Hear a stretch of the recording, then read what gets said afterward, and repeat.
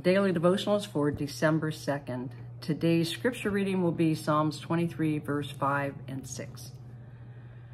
You prepare a table before me in the presence of my enemies. You anoint my head with oil. My cup runs over. Surely goodness and mercy shall follow me all the days of my life, and I will dwell in the house of the Lord forever.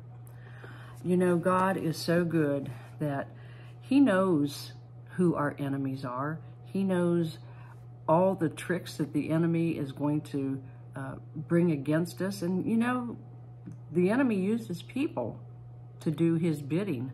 So in the same way, God uses his, his people to do his bidding. You know, he, he is flowing through us and we are the ones to release his power, his glory, his uh, anointing. So when the enemy comes against us, think about this. God knows it. And he, as long as we're like walking with him, doing his will, he turns all things for good. Uh, what the enemy meant for evil, he turns it for good. And he prepares, it's like he's preparing a banquet table for us. And we're seated there and the enemy can do nothing but basically gloat because he, he doesn't get to join us at that table. He only gets to observe, but he never gets to participate, but we get to dine at that table with the Lord. Okay, he anoints our head with oil, the oil of the Holy Spirit. It's like the they used to pour the oil over the, the head of the, the high priest and would run down, that oil would run down to his beard and down to his robe.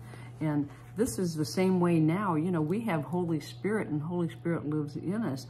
We have that fresh oil daily. You know, I always say I love to take communion because I just feel like it's a fresh impartation every day of that uh, that anointing that that God releases daily. Surely goodness and mercy shall follow me. We need the mercies of God every day, and his mercies are new each day. And all the days of our life, and we will dwell in the house of the Lord forever. That's a promise. We will dwell with the Lord forever and ever.